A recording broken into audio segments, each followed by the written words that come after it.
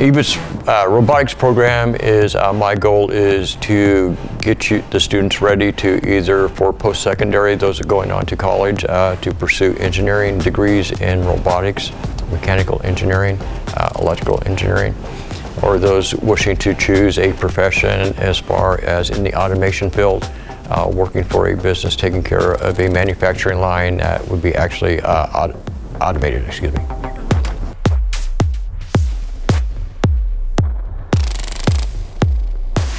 The robot is a task that I have given the class to prepare them for some uh, upcoming competitions,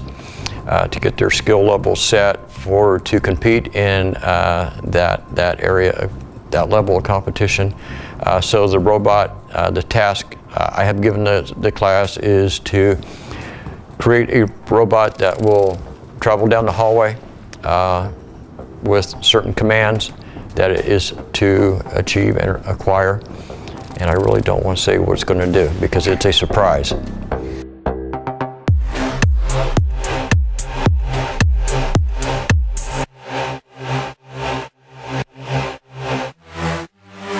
I decided to take EVIT Robotics and Engineering because the high school did not have enough electives to offer or specialize in the subject that I interest, and EVIT was able to capture that perfectly.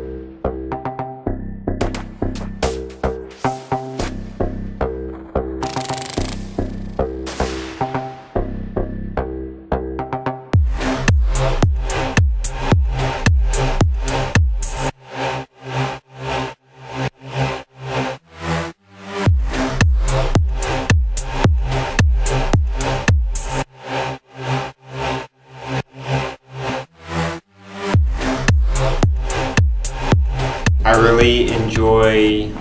the freedom in EVIT, the ability they're teaching you stuff that you'll use furthermore in your actual career later in life. It's not so much, it's structured, but they're teaching it the freestyle that the industry uses today.